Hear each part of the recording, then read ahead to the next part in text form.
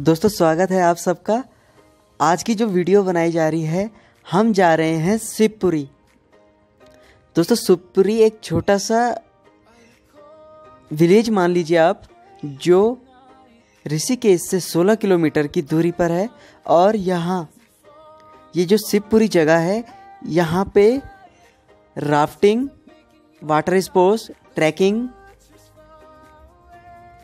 river rafting जैसी activities होती हैं। गंगा नदी है जो जो देवप्रयाग से भागीरथी और अलकनंदा नदी का संगम बन के जो गंगा नदी मैदानों की तरफ़ आ रही है, वह है शिवपुरी। उसके बगल में उसके किनारे बसा हुआ एक छोटा सा शहर है। यहाँ पे हब माना जाता है राफ्टिंग का।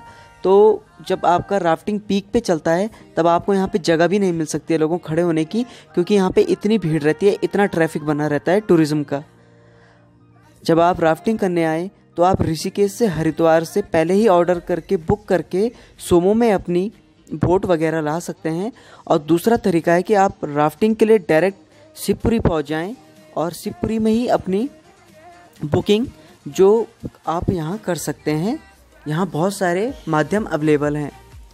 अभी आप जो इस वीडियो में देख रहे हैं, ये शिवपुरी है, ये ब्रिज है आपका और यहाँ से एक नहर जाते हुए आपकी गंगा नदी में मिलती है।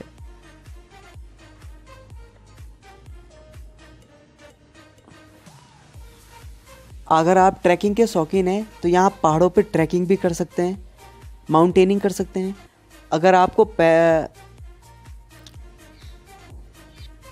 जिप लाइन यहाँ होती है तो आप जिप लाइन कर सकते हैं अलग अलग रेट हैं। आप यहाँ पे